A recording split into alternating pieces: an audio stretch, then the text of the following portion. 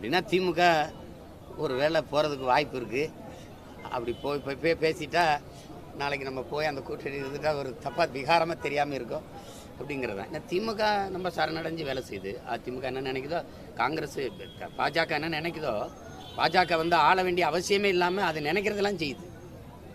நீங்களே பார்க்குறீங்க புதிய கல்விக் கொள்கை அது இல்லம் தேடி கல்வி கொண்டு வருது அது எல்லா செயல்பாடுகளையும் செய்யுது. நீங்கள் பாருங்கள் இப்போ ஆதார பாரதிய ஜனதா ஆளுகிற மாநிலம் கூட மின் கட்டணம் கட்டுவதுக்கு இதில் ஆதார இணை அதில் ஆதார இணையெல்லாம் அவன் சொல்கிற சொல்கிறான் வெளியும் செயல்படுத்தலை. இவங்க விரைந்து நீ மின் கட்டணம் கட்டுறதெல்லாம் முதல்ல ஆதார இணை. இப்போ விவசாயிகளுக்கு மானியம்ங்கிறது இருக்குல்ல அந்த உரம் போன்ற அதுலலாம் ஆதார இணைங்கிறாங்க.